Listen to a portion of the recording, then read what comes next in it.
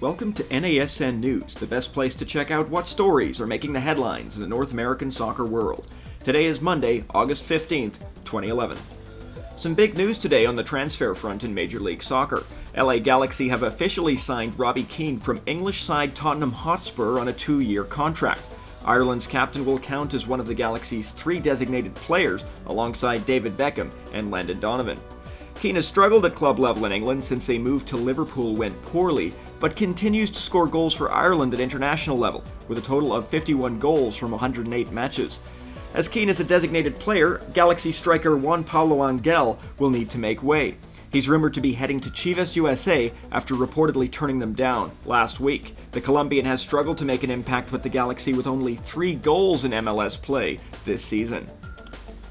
Not to be outdone, another team in California, the San Jose Earthquakes, have signed Ecuadorian international Edmundo Zura on loan until December, with an option to buy. Zura is a striker who has played with Ecuadorian side El Nacional since 2009, scoring 10 goals in 30 league matches. In other transfer news, the New York Red Bulls tried to shake things up by acquiring Stefan Auvray from Sporting Kansas City on Friday.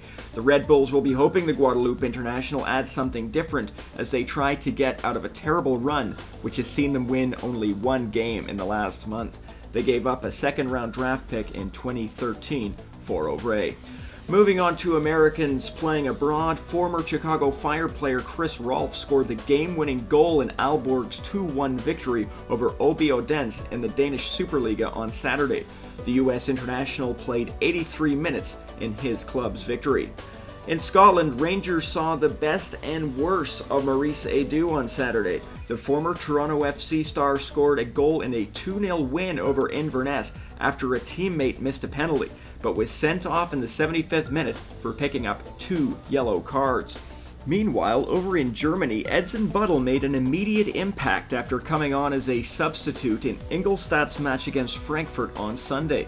With Frankfurt winning 1 0, Buddle scored only one minute after stepping onto the pitch to secure his side a 1 1 draw. That's all for today's edition of the show, but NASN News runs Monday to Friday, and you can visit nasn.tv slash news for all the latest.